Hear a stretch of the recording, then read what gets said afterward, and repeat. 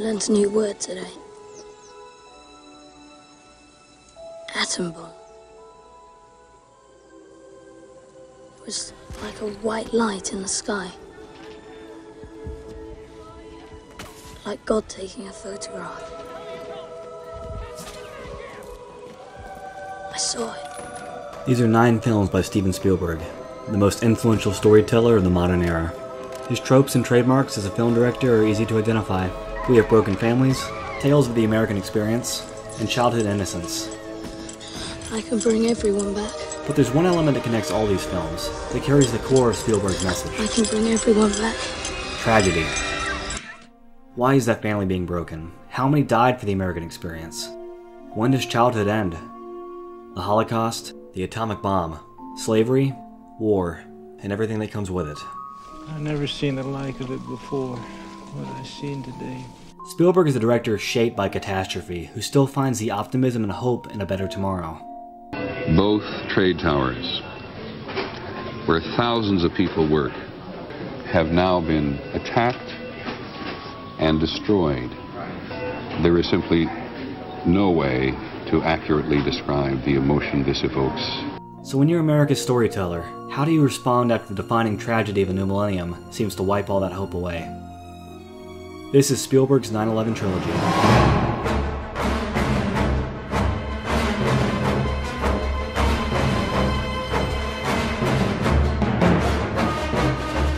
We'll be exploring three films here. Minority Report, about government surveillance and the sacrifice of liberties. War of the Worlds, about the attacks and specifically their effect on children. And Munich, about vengeance as a response to terrorism. Spielberg made two other films during his post 9 11 period, which both include air travel. But this is purely coincidence. His Tom Hanks comedy The Terminal would have certainly been a different film had it been made pre 9 11. But it was a movie made for the post 9 11 world rather than about it. To quote Spielberg himself, this is a time when we need to smile more. Hollywood movies are supposed to do that for people in difficult times. Let's start with Minority Report. Why'd you catch that? Because it was gonna fall. You're certain? Yeah. But it didn't fall. You caught it. The fact that you prevented it from happening doesn't change the fact that it was going to happen. While Minority Report was released in 2002, it finished principal photography in July of 2001, two months before the attacks. The script had been in development for a while too. It was originally planned as a sequel to the 1990 Arnold Schwarzenegger film Total Recall. It wasn't made to be topical, but in the summer of 02, Minority Report was the right film at the right time. The story follows John Anderton, a Washington, D.C. pre crime officer, in the year 2054. Pre crime is a system that identifies future murders, allowing Anderton and his team to stop the crimes before they take place. When Anderton himself is revealed as a future murderer, he goes on the run in an attempt to prove the system wrong. When Minority Report was released less than a year after the attacks, it became the first film of the Patriot Act era, exploring what we lose when we give up our freedoms for the guise of safety. The Patriot Act did not exist during the film's production, but even Spielberg admitted there's no denying the comparisons between Minority Report and the post 9 11 legislation. You're terrified and absolutely terrified right now. You don't want your kids to know terror. Keep them away from me. No science fiction film was more associated with the Iraq War than Starship Troopers, which came out six years before the war began. A story doesn't have to be from the present to be topical, and it's even more appropriate that Spielberg's film was about predicting the future. Electronic newspapers aside, the future predicted here is one of the most well thought out of any science fiction film. Spielberg wanted to see a future that could reasonably happen, and in our present, we've already begun to see self driving cars and intrusive advertisements marketed directly to you. What Spielberg didn't know was only a matter of months after filming Wrapped, the government would begin implementing the very concept of privacy invasion his film warned of. I'm sure you all understand the legalistic drawback to pre-crime methodology. Here we go again. Look, I'm not with the ACLU on this, Jeff. But let's not kid ourselves. We are arresting individuals who have broken no law. The program would be presented as something patriotic. If you're a law abiding American citizen who has nothing to hide, then there's no reason to be afraid. The citizens of Minority Report are so indifferent to privacy invasions because it's become part of the American experience for them. This is what it means to be an American, to be safe. Obviously, for pre-crime to function, there can't be any suggestion of fallibility. After all, who wants a justice system that instills doubt? It may be reasonable, but it's still doubt. The illusion of safety requires making oneself blind. In the land of the blind, the one-eyed man is king. The man who sees becomes just as guilty as the man who kills. Freedom sacrificed for safety. Minority Report is one of the most effective examples of a predicted future in film. Spielberg just didn't realize how close that future was. What is it? Is it terrorists? This, this came from someplace else. What do you mean, like Europe? No, Robbie, not like Europe! War of the Worlds has one of the most interesting public responses of any Spielberg film. It was a box office hit, but didn't sit well with some of the public because of two things. Number one, Tom Cruise was doing this. Have you ever felt this way? And number two, this was the first movie directly about the September 11th attacks. There have been other films set in their aftermath. War of the Worlds is, of course, about an alien attack, but there's no mistaking what its influence is. Some of these will be reaching, but let's look at the parallels. Eye level amateur footage, terrified onlookers, civilians running away from danger, dust covered survivors, missing posters, false rumors. Europe got the worst of it. That's what everybody's saying. Someone said it was the British Airways hit the Second World Trade right in the middle. Objects falling from the sky. News reports. Airplane crash site. Blood banks reaching capacity. Empty skies. Why aren't there any helicopters or airplanes? Bridge and boat evacuations. Joining the military for revenge. American flags. Hijackers headed to New York leave from Boston. War of the Worlds starts in New York and ends in Boston. The weapons used in the attacks came from inside the country. Those machines, those tripods they got, they buried them. Right under our feet. And finally, childhood innocence.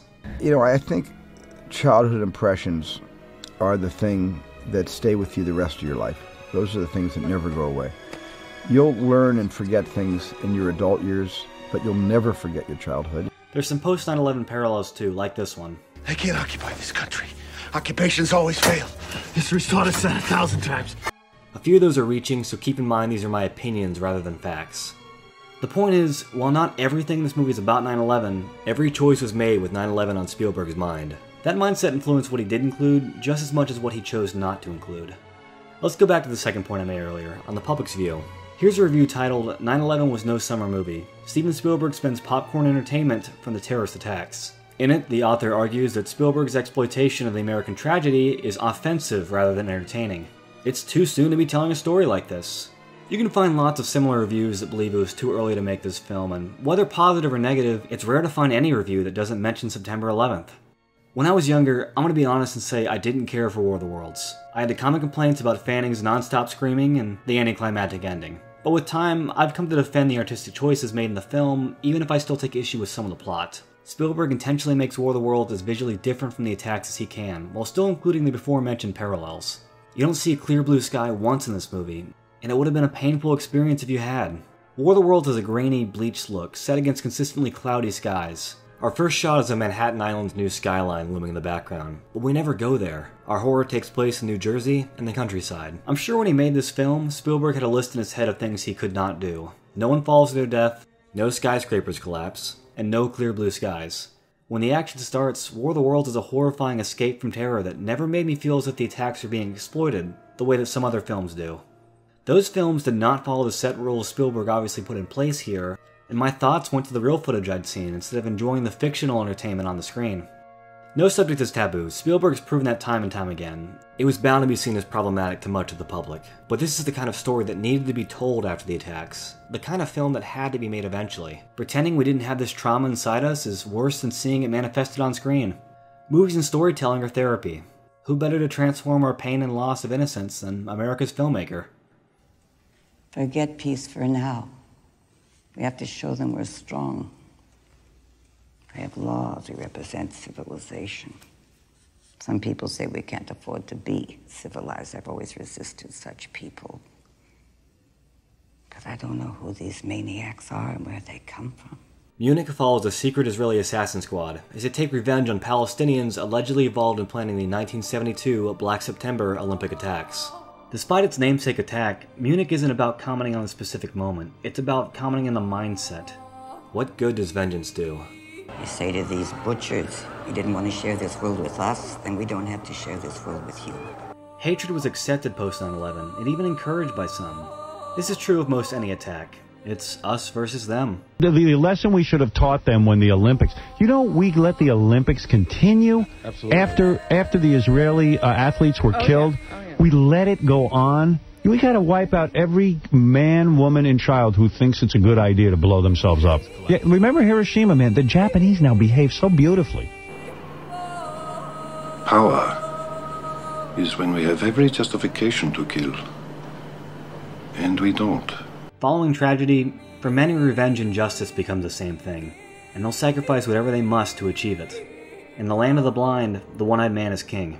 We can't help you because we never heard of you before. You'll do what the terrorists do. You think they report back to home base? Spielberg is a distrust of authority due to human error, and no government in this film is seen in a good light. Throughout his filmography, we see the attempt of total control leads to further anarchy.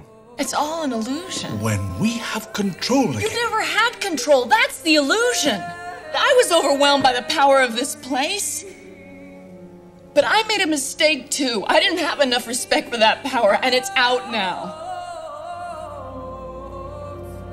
The only thing that matters now are the people we love. He enjoys drawing parallels between his heroes and villains, often making them mirror images of each other. I am a shadowy reflection of you. In this scene, who's the hero and who's the villain? You'll all die old men in refugee camps waiting for Palestine. We have a lot of children. They'll have children, so we can wait forever. And if we need to, we can make the whole planet unsafe for Jews. You kill Jews, and the world feels bad for them and thinks you're animals. Yes. But then the world will see how they've made us into animals. They'll start to ask questions about the conditions in our cages. Absolute power corrupts absolutely. And in Munich, there are no heroes. There's only vengeance. And what does that bring you? What does that bring you? Did we accomplish anything at all? Every man we kill has been replaced by worse. Why cut my fingernails? They'll grow back. Films set in the past can often benefit from the foreshadowing of the future. I want you to give me proof that everyone we killed had a hand in Munich. Upon Munich's release in 2005, the War on Terror was in its fourth year. Since then, more conflicts have begun. Other terrorist groups have risen, and men hungry for power and vengeance have taken the place of the dead. As Munich ends and its main character walks off screen, Spielberg's eye into America's soul pans up, revealing New York's skyline. New York's old skyline.